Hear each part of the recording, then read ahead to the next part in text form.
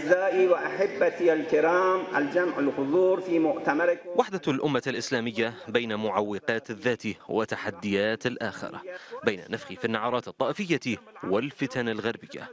هو حديث المجتمعين في الدورة الخامسة والثلاثين من مؤتمر الوحدة الإسلامية في طهران والمشاركين عن بعد. المؤامرة ما زالت قائمة الخطر ما زال قائما الجهد الأمريكي والإسرائيلي والاستكباري على تمزيق صفوف المسلمين ما زال مستمرا تداعيات الأحداث الماضية خلال عشر سنوات أيضا ما زالت موجودة وحاضرة.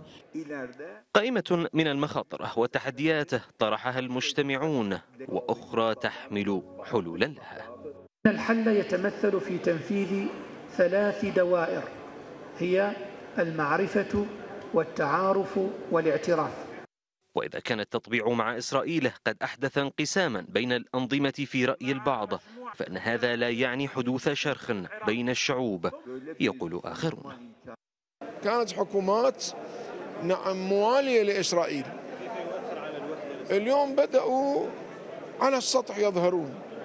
لكن كم هذا سينجح؟ أنا أعتقد أن هذا سيزيد من عزلتهم عن الشعوب. واجب علينا أن ندعو من هذا المكان من هذا المؤتمر كمنبر لندعو لكل المسؤولين عن أمور المسلمين اليوم.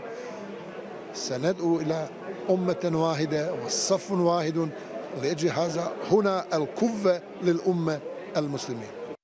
تستمر فعاليات المؤتمر خمسة أيام وستتوج باجتماع الحاضرين مع المرشد الإيراني على غرار السنوات السابقة. مؤتمر الوحدة الإسلامية حدث يتجدد سنويا من أجل استنهاض همم الأمة يقول القائمون عليه. فالمؤتمر يهدف إلى البحث عن المشتركات وإلى تعزيز الوحدة بين الشعوب. تنفيذا لا تنظيرا أحمد البحراني طهران. الميادين.